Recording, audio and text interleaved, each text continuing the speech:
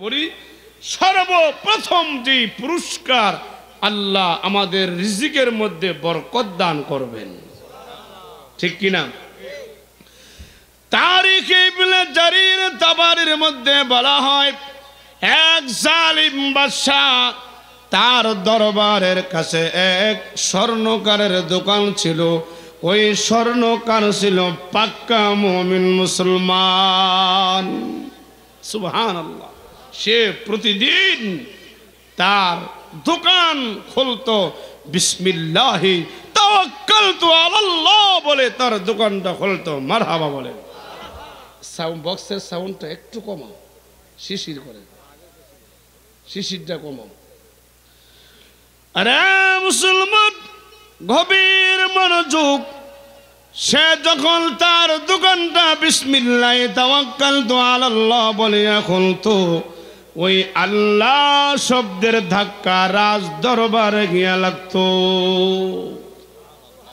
সুবহানাল্লাহ, আর এক মাস পরে কয়েন।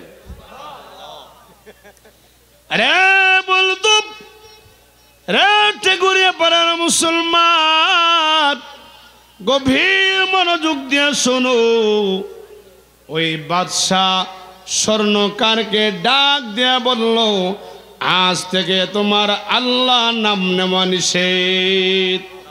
নওজুবিল্লাহ বলেন, ওই স্বর্ণকার বলল, আমার জান থাকতে আমি আমার রবের নাম একশো বার নিব। আল্লাহ আকবর বলেন, কোন জালিম বাদশার সামনে হকের কথা বলা সবচেয়ে বড় জাহাজ ঠিক কিনা বলেন?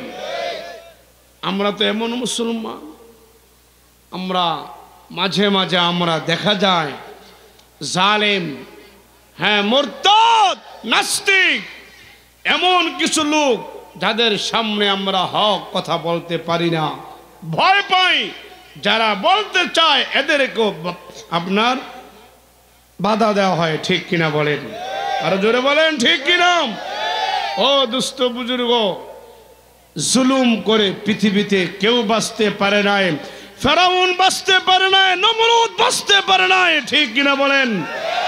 জুলুম করে কেউ বাঁচতে পারবেও না। মায়ানমারের সূচি। মায়ানমারের সূচি। এই পৃথিবীর ইতিহাসে সবচেয়ে বড় জালেম, ঠিক কিনা বলেন? যেই মায়ানমারের লক্ষ লক্ষ শিশুদেরকে হাত পা কেটে দেওয়া হয়েছিল। বাবার সামনে সন্তানকে কুড়াল দিয়া মাথা খণ্ড খণ্ড করে ফেলা হয়েছিল। আমার দুটি সন্তান আছে, আমি সন্তানের মর্ম বুঝি, ভালোবাসা বুঝি।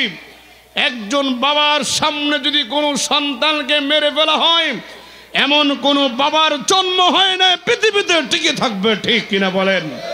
কিন্তু সেই মায়ানমারের মুসলমানগুলো অসহায় ছিল। কিচ্ছুই বলতে পারতো না, জালিমদের সামনে কোনো বলার অধিকার তাদের ছিল না। ও দুস্থ বুজুর্গ, ছেলের সামনে মাকে উলঙ্গ করে নির্যাতন করা হয়েছে মায়ানমারে, ঠিক কিনা বলেন? ও দুস্থ বুজুর্গ, সেই মায়ানমারের মধ্যে লক্ষ লক্ষ মুসলিম নারীকে ধর্ষণ করা হয়েছে, ঠিক কিনা বলেন? ও দুস্থ বুজুর্গ, সেই জালিম সরকার ওয়াং সং সূচি বর্তমানে রিমান্ডে তাকে গরম ডিম দেওয়া হচ্ছে। সুবহান আল্লাহ বলেন, সেই সূচি গ্রেপ্তার হয়ে গেছে। আল্লাহ পাকের বিচার শুরু হয়ে গেছে। এই পৃথিবীর জমিনে জুলুম করে কেউ বাঁচতে টিকতে পারে না টিকবো না, ঠিক কিনা বলেন? ও দুস্থ বুজুর্গ, মৃত্যু হলে হয়ে যাবে। হকের কথা বলব, অদূর ভবিষ্যতে গুজবা হিন্দের ডাক আসতেছে। কারণ এই গত বছর থেকে আজ দিন, এই দিনের প্রায় এক বছরের মধ্যে ভারতে বান্নটা মসজিদ আগুন লাগিয়ে জ্বালিয়ে দেওয়া হয়েছে। নাওজুবিল্লাহ বলবেন না। বাবরি মসজিদ সহ সব মসজিদগুলো জ্বালিয়ে দেওয়া হয়েছে। মুসলমানের বাড়ি ঘরগুলোকে জ্বালিয়ে দেওয়া হয়েছে। কিন্তু মুসলমান প্রতিবাদ করে না। বাংলার মুসলমান আরামছে ঘুমাচ্ছে, খাচ্ছে, ঠিক কিনা বলেন। যারা প্রতিবাদ করতে যায়, এদের বিরুদ্ধে লোক লাগিয়ে দেওয়া হয়, ঠিক কিনা বলেন? ও দুস্থ বুজুর্গ, এই ময়দান থেকে বলতে চাই, জান লাগলে জান দিব, মাল লাগলে মাল দিব, মুসলমানদের সঙ্গে থাকব, কাফেরদের বিরুদ্ধে অবস্থান নিব, ভয় পাবো না, অদূর ভবিষ্যতে গুজওয়াই হিন্দের জন্য প্রস্তুতি গ্রহণ করব। কে কে রাজি আসেন হাত তুলে দেখান, হাত তুলে দেখান। আল্লাহ কবুল করুক। বলতেছিলাম, জালেম বাদশাহ আর স্বর্ণকারের ঘটনা ঠিক কিনা বলেন। রে বলতো জালিম বাদশাহ স্বর্ণকারকে বলল, তুমি আজ থেকে আল্লাহর নাম নিতে পারবে না। নাউজবিল্লা বলেন রে বলতো ওই স্বর্ণকার ডাক দেয়া বলল, আমি, আমার মৃত্যু হতে পারে, কিন্তু মহান রবের নাম আমার জবান থেকে আমি লড়াবো না। এরপরে ওই জালিম বাদশাহ সিদ্ধান্ত নিল, কীভাবে তাকে মারা যায়, হত্যা করা যায়? পরিকল্পনা আটলো পরিকল্পনা নিল, সিদ্ধান্ত নিল, একটা আংটি বানানের উশিলা দিয়া তাকে হত্যা করবে। বাঁচানের মালিক কি? জোরে বলেন, বাঁচানের মালিককে এই ইমান ভিতরে রাখতে হবে, ঠিক কিনা? রে বলতো স্বর্ণকার তার রাজ দরবারের শাহী একটা আংটি নিয়ে স্বর্ণকারের কাছে গেল বাদশাহ। যাওয়ার পরে বলল হে স্বর্ণকার, আমি তোমাকে এই আংটির মতো আরেকটা আংটি তুমি আমাকে বানিয়ে দিবা, নকল আংটি। সাবধান, এই নকল আংটি বানানোর সময় আসল আংটি যেন হারিয়ে না যায়, খেয়াল রাখবা। যদি হারিয়ে যায়, তোমাকে ফাঁসির কাছে ঝুলতে হবে। এই কথা বলে ওই স্বর্ণকারকে জালেম বাদশাহ বলল, আমার পিপাসা লাগছে, একটু পানি পান করব, পানি খাওয়াও। স্বর্ণকার পানি আনার জন্য গেল। পানি আনতে গিয়া সে একটু দেরি করে ফেলল, কারণ বাদশাহ পানি খাবে, ভালো পানি, স্বচ্ছ পানি দরকার, ঠিক কিনা? পানি আনতে যাওয়ার পরে ওই বাদশাহ যেই বক্সের ভিতরে আসল আংটি ছিল, ওই আংটিটাকে সরাইয়া দিয়েছে। সরাইয়া দিয়া বক্সের তালাটা আবার লাগিয়ে দিয়েছে। স্বর্ণকার ওই মুমিন মুসলমান ওই আল্লাহ বিরু স্বর্ণকার আসার পরে ওই স্বর্ণকারকে বলল, এই নাও তোমার, এই নাও আমার রাজ দরবারের আংটির বাক্স। আমি দিয়া গেলাম, পাঁচ দিন পরে আসব। আমার নকল আংটি সহ আসল আংটি তুমি ফেরত দিবা। দেখেন সে কি করছে। আসল আংটি নিয়ে গেছে। ঠিক কি না এবার ওই স্বর্ণকার মুমিল মুসলমান রাত্রে বেলায় বাসায় গিয়া স্ত্রীর সামনে তার বক্সটা খুলল। বক্স খোলার সময় বলল, বিবি, রাজ দরবার থেকে রাজা আংটি বানানোর জন্য অর্ডার করেছে। এ আসল আংটি দিয়া একটা হুবু নকল আংটি বানাইতে হবে। আসল আংটিটা যত্ন সহকারে রেখে দাও। এবার ওই স্বর্ণকারের স্ত্রী বক্স খুলিয়া দেখে কোনো আংটি নাই। খালি বক্স।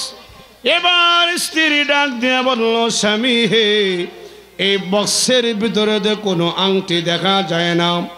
আপনি তো বললেন রাজার আংটি ভিতরে আছে। স্বর্ণকার দেখল। বাস্তব তো তাই, কোনো আংটি তো দেখা যায় না। এবার স্বর্ণকারের মাথা নষ্ট হয়ে গেছে। ডাক দিয়ে বলল, বিবি বাদশাহ তো আমার সামনে আংটিটা দেখাইয়াছিল। কে নিয়ে গেল আংটিটা বলতে পারব না। কারণ চাবিটা তো আমার হাতের মধ্যে ছিল। কেউ তো আমার থেকে চাবিটা নেয় নাই। তাহলে কে আংটিটা নিল আমি জানি না। এবার স্বামী স্ত্রী মিলিয়া চিন্তায় পড়ে গেল। সকাল বেলায় অনেক খোঁজাখুঁজির পরে আংটির কোনো সন্ধান মিলল না। রে মুসলমান, স্বামী আর স্ত্রী মিলিয়া দুই রেখা সলাতুল হাজত নামাজ পড়ল, আল্লাহ আকবর। সলাতুল হাজত নামাজের তো পাওয়ার। আল্লাহ পাক বান্দার যত সমস্যা আছে, সকল সমস্যার সমাধান করে দেন। সুবহান আল্লাহ বলেন। এবার পরীক্ষার জগতে তারা পড়ে গেল। পরীক্ষা শুরু হয়ে গেল মহান রব্বে করিম। ওই স্বর্ণকার এবং তার স্ত্রীকে পরীক্ষার জগতে নিক্ষেপ করে দিলেন। এবার ওই স্বর্ণকার তিন দিন হয়ে গেল, আংটি আর খোঁজে পায় না। এবার তার বিবি একটা পরামর্শ দিল স্বামী হে, একটা কাজ করেন আল্লাহর রাস্তায় দান করেন, টাকা পয়সা আল্লাহ রাস্তায় দান করেন, আর গরিব কিছু মানুষকে দাওয়াত দিয়া খাওয়ানোর ব্যবস্থা করেন। ঠিক আছে? এটাই করো। সুবহান আল্লাহ বলেন, এলাকার বিধবা মহিলাগুলোকে দাওয়াত দিল আল্লাহ আকবার। গরিব মানুষদেরকে দাওয়াত দিল, কিছু টাকা পয়সা দান সৎকা করল। ওই স্বর্ণকার বাজারে গিয়া বড় একটা মাছ কিনে আনলো। এবার ওই জালিম বাদশাহ যেই স্বর্ণের আংটিটা স্বর্ণকার থেকে লুকাইয়া তার বক্স থেকে নিয়ে আসছিল, ওই জালিম বাদশাহ সাগর পারে সফরে বের হয়েছে। সফরে বের হইয়া জাহাজ দিয়া যখন সাগরের মধ্যে গেল, ওই আংটিটা বাদশাহ কি করল? আংটিটা সাগরের মধ্যে নিক্ষেপ করে দিল। এবার রাব্বে তো আসমান থেকে দেখেন ঠিক কিনাম এবার ওই সালিম বাদশার আংটি যখন সাগরের মধ্যে নিক্ষেপ করে দিল, এবার একটা মাছ আংটিটাকে গিলে ফেলল। ওই মাছ জেলের হাতে ধরা পড়ল, জেলে বাজারে বিক্রি করল এবং ওই স্বর্ণকার মাছটা কিনে নিল। সুবাহান বলেন। স্বর্ণকারের স্ত্রী মাছটা কুটার সময় হঠাৎ করে তাকিয়ে দেখল, তার পেটের ভিতর থেকে সুন্দর একটা আংটি বের হয়ে গেছে। আল্লাহ আকবার বলেন, আল্লাহ আকবার বলেন, এই আংটিটা নিয়ে স্বামীর কাছে দিল, স্বামী হে, মাছের পেটের ভিতর থেকে সুন্দর একটা আংটি আমি পেয়েছি। এই আংটিটা দেখো তো, রাজ দরবারের আংটি কিনা? ওই স্বামী ডাক দিয়া বলে, বিবি হে, এই আংটি তো রাজার আংটি। এই আংটিটা তো আমার বক্সের মধ্যে ছিল। মাছের পেটের মধ্যে কীভাবে গেল? রাজ দরবারের রাজমোহরের শিল তো আংটির মধ্যে দেওয়া আমার হবা এবার স্বর্ণকার মহান রবের কাছে শুক্র আদায় করল। আল্লাহ আকবর। আল্লাহ আকবর। শুক্র আদায় করিয়া পাঁচ দিনের মাথা যখন হুবহু নকল আংটি বানাইয়া প্রস্তুত করে রেখে দিল, বাদশাহ তো মহা খুশি। আজকে স্বর্ণকারের ফাঁসি হবে। রাখে আল্লাহ। মারে কে? قل إن صلاتي ونسكي ومحياي ومماتي لله رب